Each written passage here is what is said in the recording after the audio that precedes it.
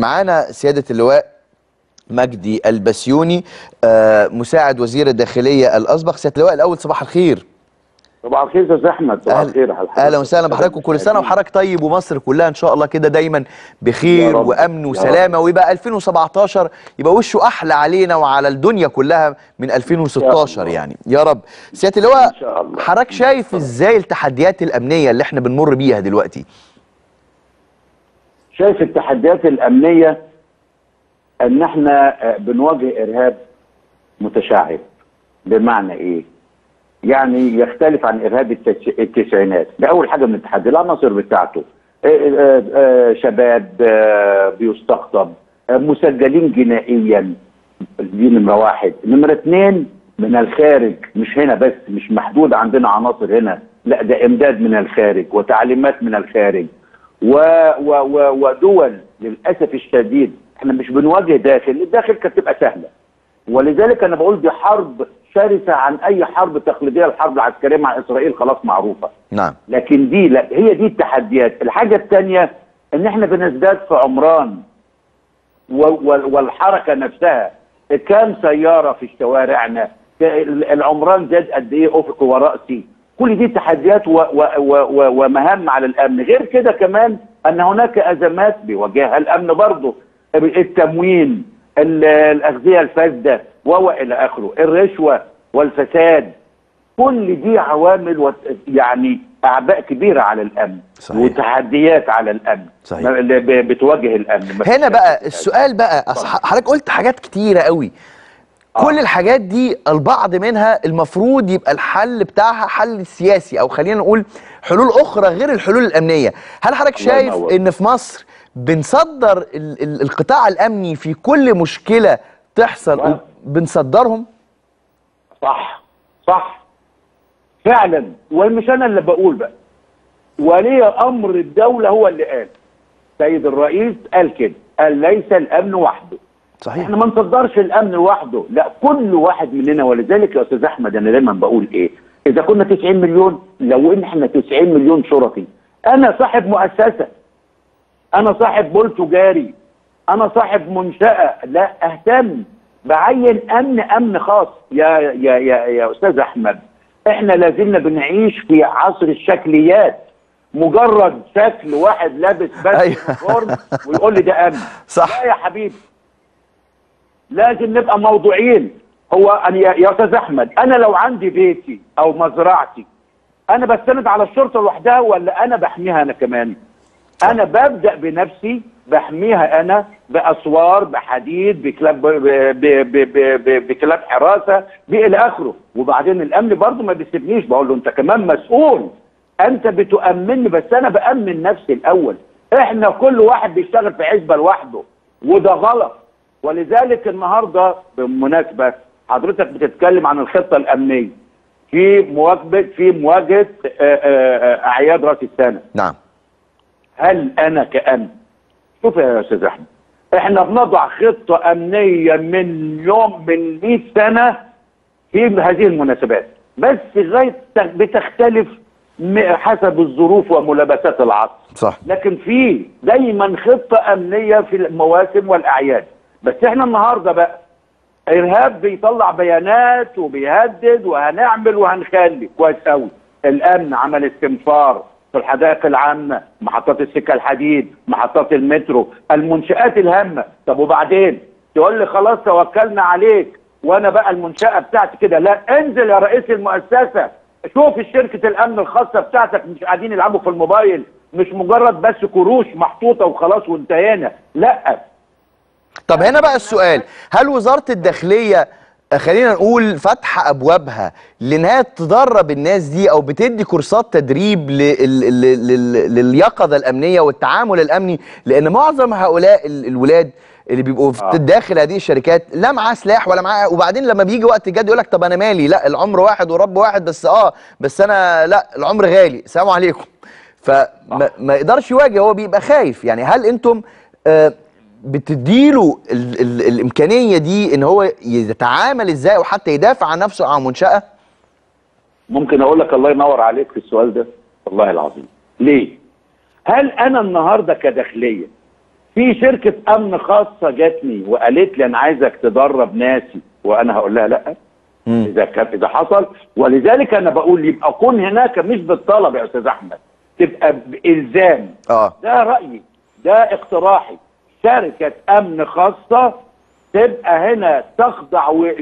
تخضع لوزارة الداخلية تدريبيا. وبعدين أنت بتنقي أفراد.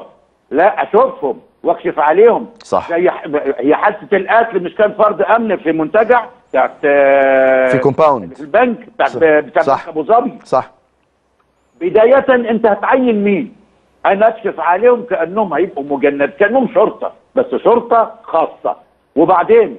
هدربهم وهدربهم تدريب كويس جدا. الحاجة الثانية في حاجة اسمها سلاح للدفاع ترخيص للدفاع أو للصيد أو للحراسة. لا أديله سلاح ما يبقاش واقف لي بس لابس لي منظر كده وخلاص. بالظبط. أدي نمرة اثنين. نمرة ثلاثة. كان زمان يا أستاذ أحمد البنك فيه زرار. تتك على الزرار ده يدي صفارة إنذار في شرطة النجدة يطلع على طول على البنك. إحنا فين من التكنولوجيا النهارده. ده كان ده كان زمان يعني هو دلوقتي ما بيحصل ما فيش ده موجود؟ مش مو... قد يكون موجود في البنوك بس آه. لكن عموما لا. آه. في حاجات كتير لازم نفوق منها. بس أقول لحضرتك على حاجة بأمانة يعني حتى لو الزرار ده اتداس عليه يعني إحنا بنشوف في الأفلام الأجنبي إزاي بعدها ما فيش كام ثانية ده حتى بيتحدوا بعض بره يعني. في كام ثانية عربيات ال ال الشرطة بتبقى موجودة. إحنا ال ال لو حضرتك تفتكر زمان الدورية الراكبة ما بقتش موجودة زي زي زمان يعني. صح. ما هو عشان كده أنا بقول إيه بقى؟ ما فيش حاجة اسمها تمركز الأكمنة الثابتة والكلام ده كله لأ. تبقى متحركة وتتمركز في مكان. الزرار لما هيضرب هنا هيضرب في في, في النجدة أقرب عربية من بنك كذا من منشأة كذا تتحرك. في حاجة مهمة جدا. أنا لما بعمل لما بخطط لارتكاب جريمة بدرس الأول حتى لو حرامي. فبدرس إيه؟ هو عندهم سلاح آه. هم عندهم مسلحين. أيوه. بكش.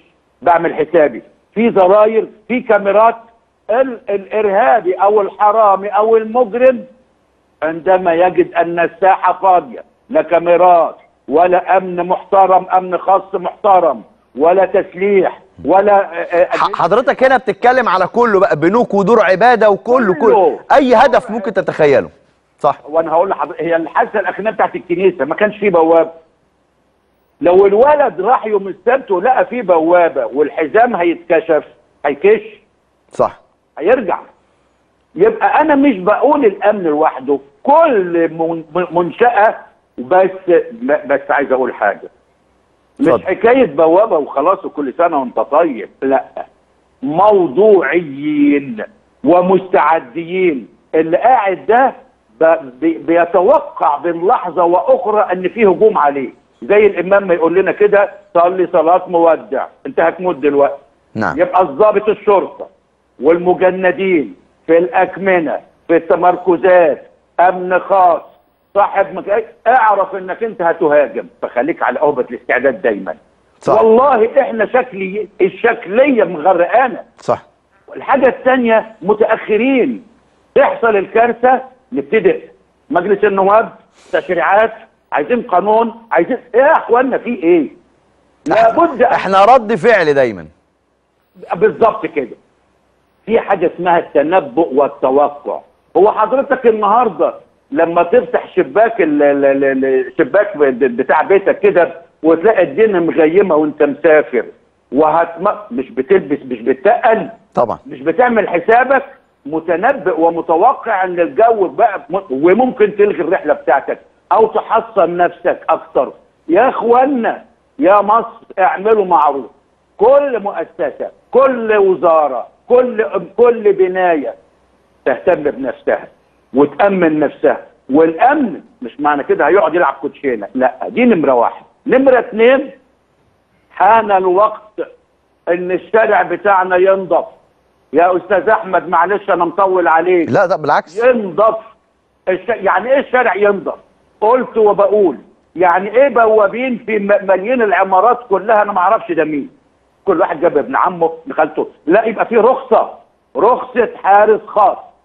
تحت رقبتي كمباحث أنا اللي طلع له الرخصة واجددها له كل سنة. له هوية.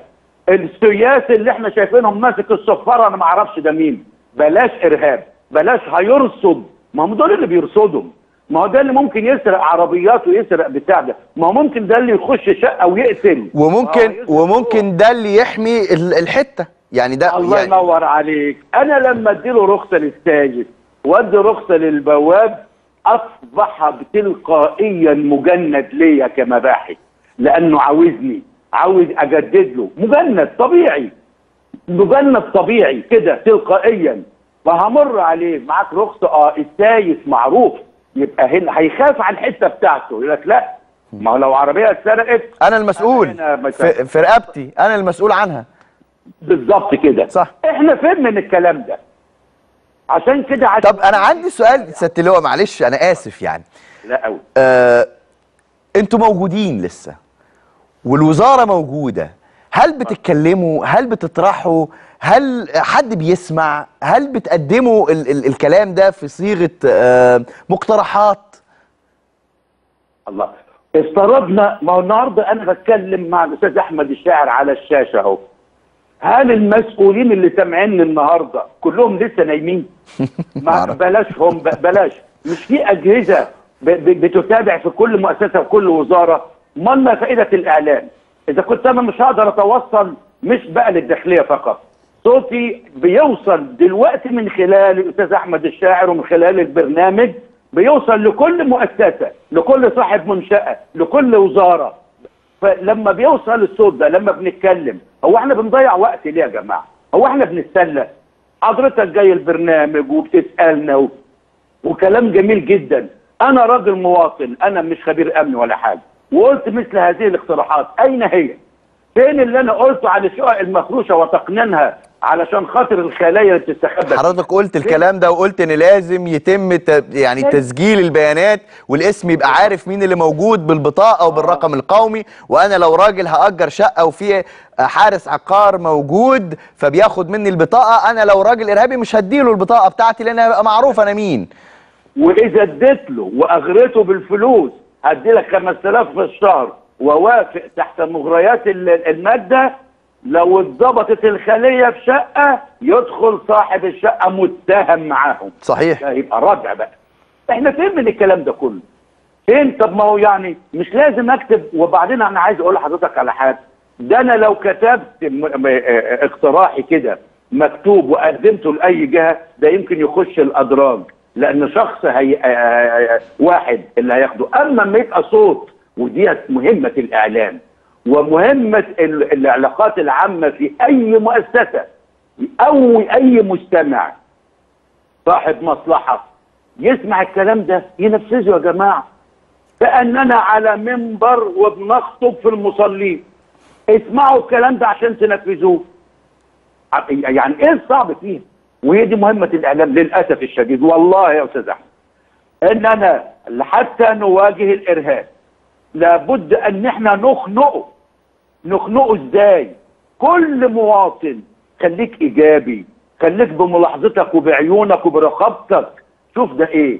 جايين متأخرين. شكلهم إيه؟ في حاجة غريبة. وإحنا فضوليين أصلا بطبيعتنا ونحب. نعرف هم مين دول. هم متجوز هو متجوز هو دي عيلته. وهو إلى آخره. أي شك أي اشتباه احمي نفسك واحمي منطقتك. أنا بقول لك ربما يكون بيصنعوا متفجرات في الشقة بتاعتهم تتفجر الشقة يبقى أنت رحت في داهية. صح.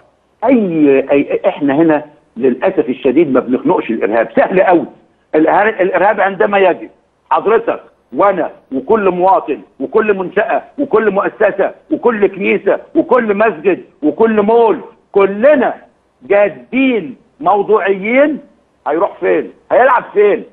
تعالي بقى يا حكومة بقى ويا مجلس النواب. في حاجة اسمها الدروس المستفادة. ألو؟ أيوه مع حضرتك يا سيادة اللواء اتفضل. آه في حاجة اسمها الدروس المستفادة. يا دولة بنتعرض لحادث إرهابي وننشط وبعدين ننام. لا الحادث ده إيه؟ سببه إيه؟ الواد محمود شفيق إزاي يتربى؟ ع- اتعلم إزاي؟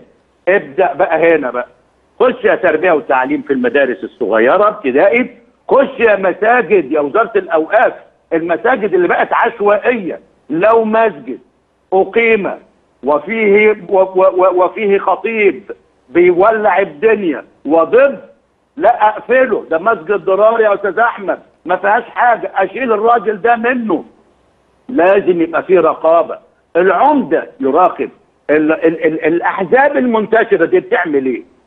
أنتوا يا أحزاب بتعملوا إيه؟ العيال دول لما بيستقطبوا أنتوا فين؟ دوركوا إيه؟ هو طلع كده على طول الواد محمود شفيق ومهاب وغيره وغيره وغيره. شياطين كده على طول؟ لأ.